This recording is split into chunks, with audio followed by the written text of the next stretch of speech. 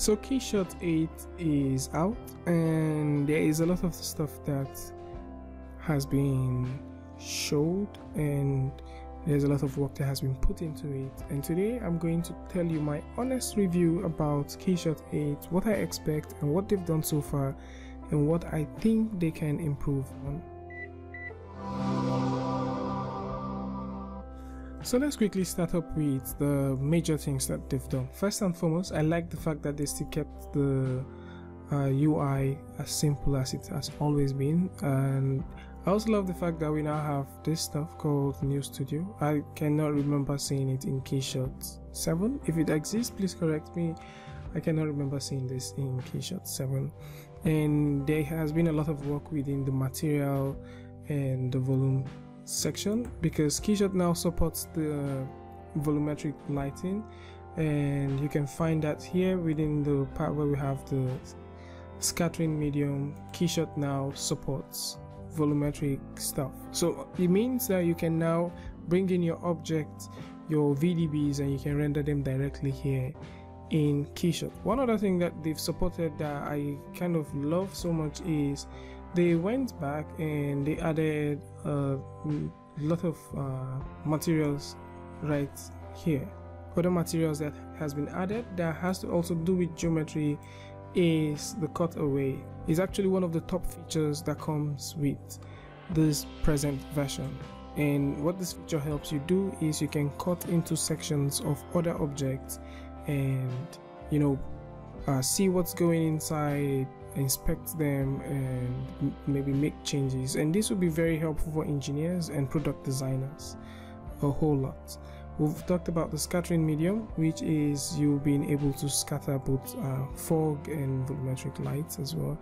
One other top feature that has also made its way to Keyshot is the uh, geometry shaders, but this feature, of the geometry shader, is actually exclusive to Keyshot 8 Pro.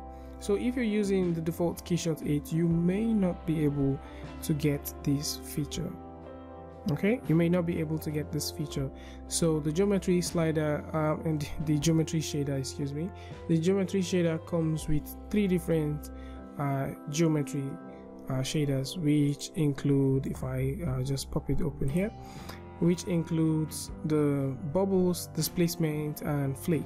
Other uh, nice stuff that they've added is the idea that you can now convert any object to light, thereby supporting lights like the spotlight, the point light, IES, and area lights. Normally, those used to be materials, but now they are not just materials anymore, but they now have sliders that you can use to control how much intensity they can have how much fall off they can have. And um, this amazing stuff has come to Keyshot 8 and we are also going to see uh, things that has to do with the image style. So now you can style your image in real time instead of going back and forth after you've done a particular render to style the image.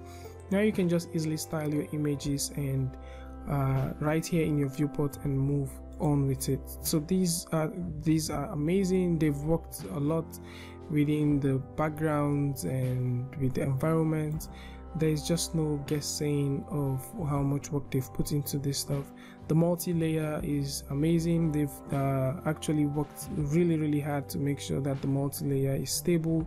And now you can also have animated textures run directly in your viewport. So whenever you want to use a density texture especially if you're working with a light you can just have that and use density the animated density texture or the animated texture run directly in your scene.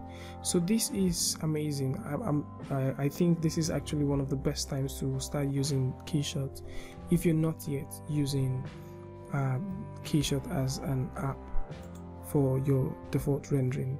Uh, other things that they've kept which are nice is the idea that you can go ahead make a multi-selection of tools and now you can just simply uh, still put them in a group and maybe make a pattern out of them put them in a new render layer these things are so nice you can now create model sets from selection I think these are things that most probably have existed before, but they are actually pushing the boundaries of how well these things work. Now, down to the part where I expected some stuff from them.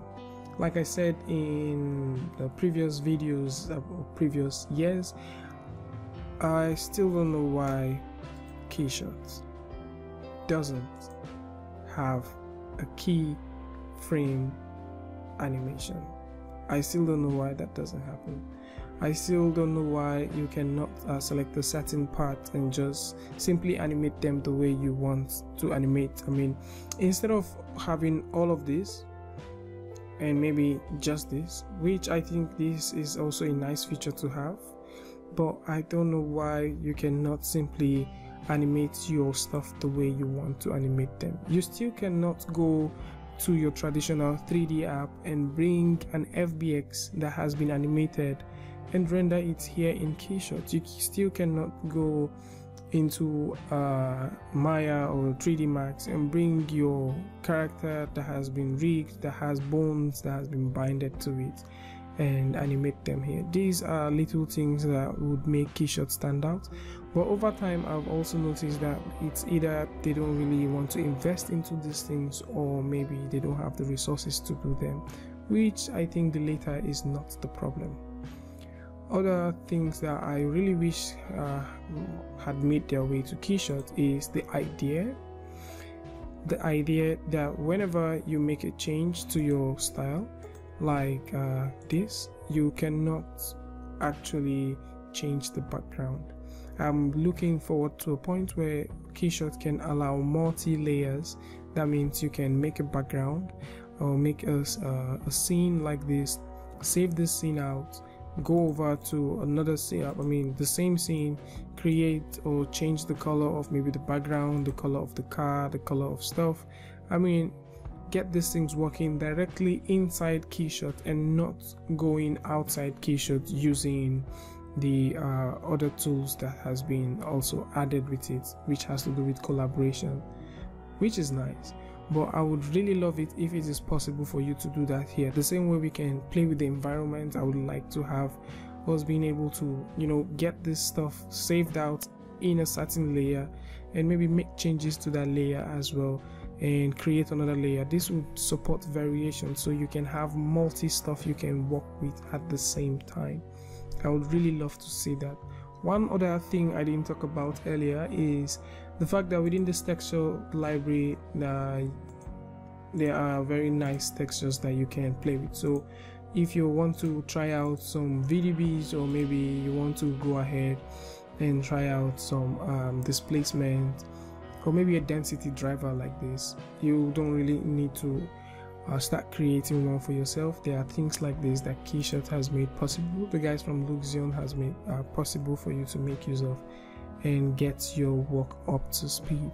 So these are the things which I think, and I also wish one more thing that uh, Keyshot should also be able to create some sort of stand uh, long-lasting bridge between them and Photoshop. I really really wish that that can happen. That all you have to do is just uh, make a selection from here and you can send it directly to Photoshop. So once your image renders, it pops it right inside Photoshop. Or maybe once you have your image like this and it's finally ray traced directly in your viewport you can just send it directly to Photoshop and that would work. I love the render layers but I really wish that we can be able to move that from here to maybe any image editing program of our choice and make changes there. Okay? Now if you like this video i would like you to go down in the comment section and put things which you love to see in the upcoming Keyshot that will be coming out probably next year. Please share it with your friends and don't forget to subscribe. And if you're new here also turn on the notification button so that you get updates next time i upload a new video. So far so good guys. Peace